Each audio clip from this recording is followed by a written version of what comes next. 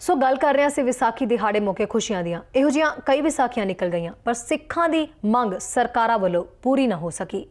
ਜੋ ਐਸੇ ਰੋਸ ਨੂੰ ਜਤਾਉਂਦੇ ਹੋਏ ਸ਼ਰਧਾਲੂ ਬੈਠ ਗਏ ਭੁੱਖ ਹੜਤਾਲ ਤੇ ਤੇ ਕਰ ਰਹੇ ਨੇ ਗੁਰਦੁਆਰਾ ਕਰਤਾਰਪੁਰ ਸਾਹਿਬ ਦਾ ਰਸਤਾ ਖੋਲ੍ਹਣ ਦਾ ਇੰਤਜ਼ਾਰ। ਦੇਖੋ ਕਿਸ ਤਰ੍ਹਾਂ।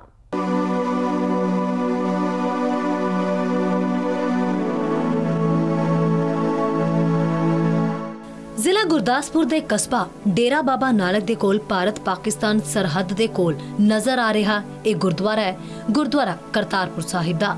ਸਰਹੱਦ ਤੋਂ ਮਹਿਜ਼ 4.5 ਕਿਲੋਮੀਟਰ ਦੀ ਦੂਰੀ ਤੇ ਜ਼ਿਲ੍ਹਾ ਨਾਰੋਵਾਲ ਦੇ ਵਿੱਚ ਸਥਿਤ ਇਸ ਧਾਰਮਿਕ ਥਾਂ ਦੇ ਦਰਸ਼ਨਾਂ ਦੇ ਲਈ ਸ਼ਰਧਾਲੂ ਲੰਬੇ ਸਮੇਂ ਤੋਂ ਅਰਦਾਸ ਕਰ ਰਹੇ ਨੇ।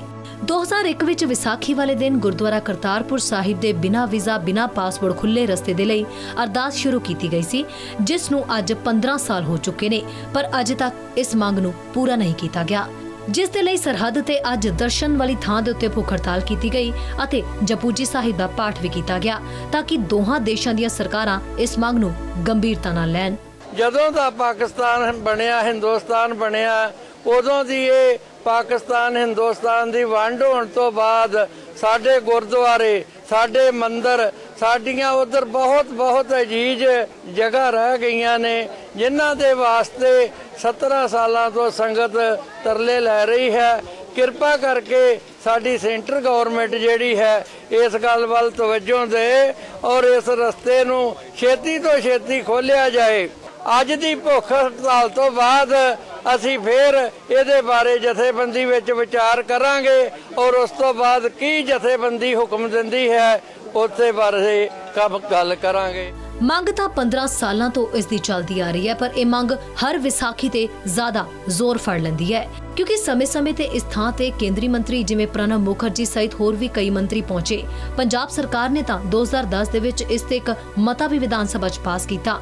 ਇਸ ਤੋਂ ਇਲਾਵਾ ਪਾਕਿਸਤਾਨ ਦੇ ਕਈ ਰਾਜਨੇਤਾਵਾਂ ਨੇ ਇਸ ਦੇ ਉੱਤੇ ਸਹਿਮਤੀ ਵੀ ਜਤਾਈ ਪਰ ਕੋਈ ਠੋਸ ਕਾਰਵਾਈ ਨਾ ਹੋਈ। 2001 ਤੋਂ ਲੈ ਕੇ ਸਨ 2001 ਤੋਂ ਲੈ ਕੇ ਅਰਦਾਸਾਂ ਕਰਦੇ ਰਾ- ਆ ਰਹੇ ਹਾਂ ਵਿਸਾਖੀ ਵਾਲੇ ਦਿਨ ਤੋਂ।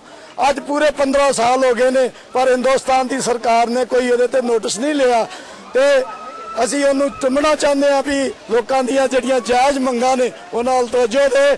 ਇਹ ਕਰਤਾਰਪੁਰ ਦਾ ਰਸਤਾ ਪੂਰਾ ਪੰਜਾਬ ਚਾਹੁੰਦਾ ਕਿਉਂਕਿ ਪੰਜਾਬ ਦੀ ਅਸੈਂਬਲੀ 'ਚ ਪਾਸ ਹੋ ਚੁੱਕਾ 15 ਸਾਲਾਂ 'ਚ ਸਰਕਾਰਾਂ ਤਾਂ ਕਈ ਬਦਲ ਗਈਆਂ, ਪਰ ਇਹਨਾਂ ਸ਼ਰਧਾਲੂਆਂ ਦੀ ਮੰਗ ਇੱਕੋ ਹੀ ਰਹੀ, ਕਰਤਾਰਪੁਰ ਸਾਹਿਬ ਦਾ ਰਸਤਾ ਖੋਲ੍ਹਣ ਦੀ। ਇਹਨਾਂ ਸ਼ਰਧਾਲੂਆਂ ਦੀ ਸਰਹੱਦ ਤੇ ਭੁੱਖ ਹੜਤਾਲ, ਹੁਣ ਸਰਕਾਰਾਂ ਦੀ ਸੁੱਤੀ ਨੀਂਦ ਨੂੰ ਖੋਲਣ ਦਾ ਕੰਮਕਾਰ ਪਾਉਣਗੀਆਂ ਜਾਂ ਫਿਰ ਅਜੇ ਵੀ ਕਈ ਵਿਸਾਖੀਆਂ ਇਸੇ ਤਰ੍ਹਾਂ ਸਰਹੱਦ ਤੇ ਪ੍ਰਦਰਸ਼ਨ ਕਰਕੇ ਹੀ ਨਿਕਲਣਗੀਆਂ। ਇਹ ਸਮਾਂ ਹੀ ਦੱਸੇਗਾ। ਨਿਊਜ਼ ਐਕਸ ਤੋਂ ਸ਼ਹਿਰੀ ਗੌਰਵ ਦੇ ਨਾਲ ਗੁਰਪ੍ਰੀਤ ਸਿੰਘ, ਗਲੋਬਲ ਪੰਜਾਬ ਟੀਵੀ, ਗੁਰਦਾਸਪੁਰ।